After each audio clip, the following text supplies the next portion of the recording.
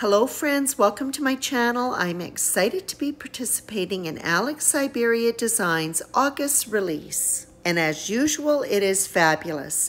My cards today feature special delivery stamp set accompanied by the postage stamp stencil and cover die. For each card, I started off by die cutting white cardstock with the postage stamp cover die. Postage stamp panel is made up of four stamps. Around each of these stamps are some really tiny small dot details delineating each of the rectangles. The openings on the coordinating stencil are lined up with these dots. I use a little bit of post-it note tape to hold it in place on the back. The ink blending for both cards will be done with Distress oxide inks. For this first card, I'm using a combination of spun sugar, dried marigold, and then finishing up with abandoned coral. When I change colors, I'll go back and pick up the last color and just blend it out before proceeding. The spun sugar and dried marigold have been blended together, so now I can go ahead and finish up with my last ink, which is the abandoned coral. This final color is quite saturated. I want it soft so I'm not applying a lot of pressure.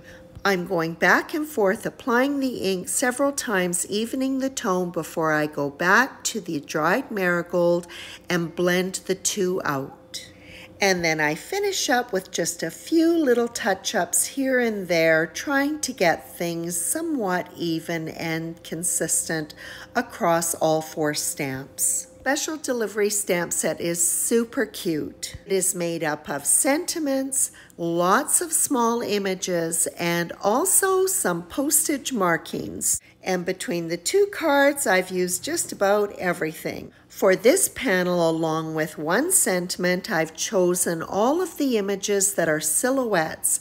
They're being inked up with Distress Oxide Faded Jeans. The ink was applied and stamped two times. For the second panel, the ink has been applied on a diagonal, starting with Kitsch Flamingo, Salvaged Patina, and then finishing up with Faded Jeans. Like the previous panel, I'll go back and forth a couple of times, reapplying the inks, overlapping them so that they blend together. As I said before, there are several images included in the special delivery stamp set. I used the silhouettes on the previous card. For this one, I'm going to be using some floral outlines. For this panel, I'll be stamping the images one at a time. This first stamp I'm going to be using twice. This is a corner fitting stamp, so I'm spending some time getting it lined up to that ink blended corner.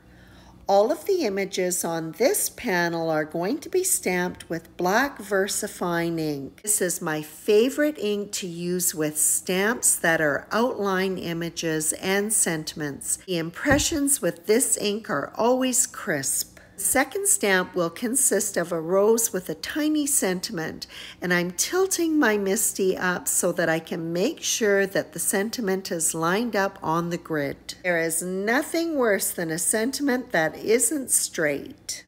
Well, okay, that might be a bit of an exaggeration. I want the images to be really black, so I am stamping them twice. I'll go back to that previous stamp, which by the way has been cleaned. You don't want to get any black ink on there from the previous stamping.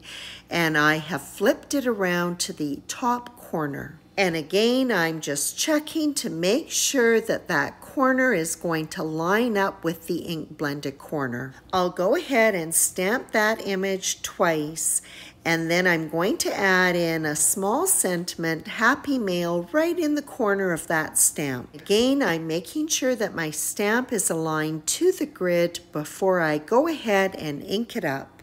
For the last stamp, I'll have a sentiment, plus I'm going to use the flower from the rose.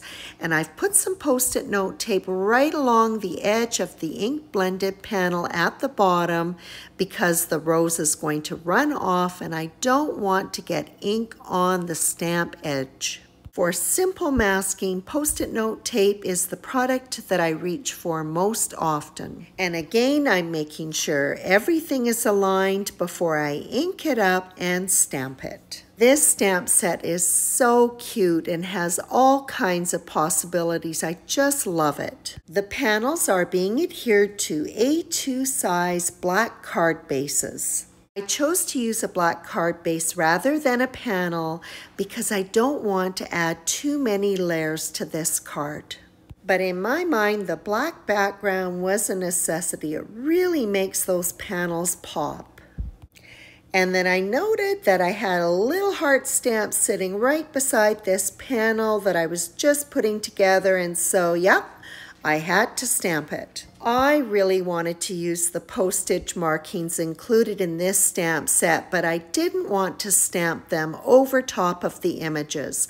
So I'm going to be using a decorative element, a vellum card envelope. I'll place the card inside the envelope and then into the MISTI so that I can get the postage note stamps lined up. After the stamps have been picked up on the door, I'm going to remove the card from the envelope. Ink can take a while to dry on vellum paper and I don't want to risk smudging it, so I'm going to be clear embossing it.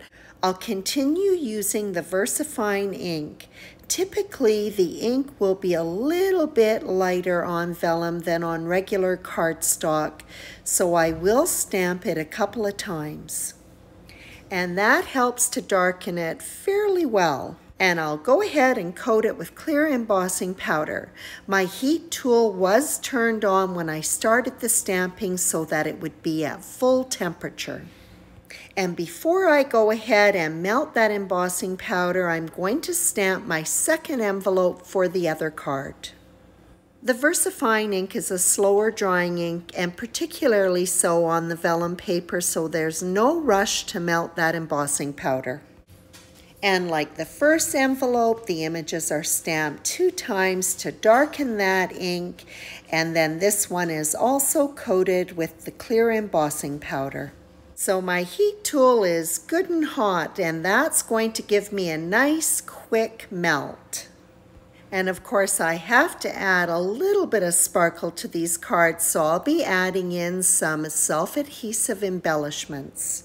For this card, the crystals are rose colored. For the other one, they're smoky colored, perfect for those silhouette images.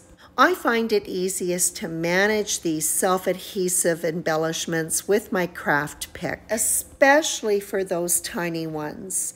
I simply take the pick and position it so that it is at the base of the crystal and then kind of slip it underneath until it catches the adhesive and then it can be positioned on the card easily. And then the cards are slipped into the decorative envelopes.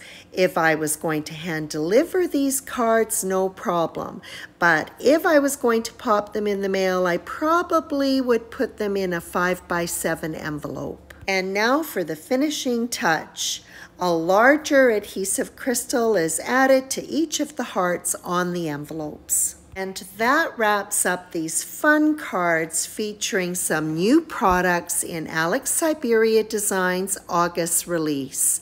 I love the special delivery stamp set and it really is taken to the next level when it's used with the postage stamp stencil and cover die. I'll have a link below to Alex Syberia Designs store so that you can check out the rest of the fabulous release. These sweet cards are quick and easy to make. I hope you enjoyed this video and as always, I appreciate your visit.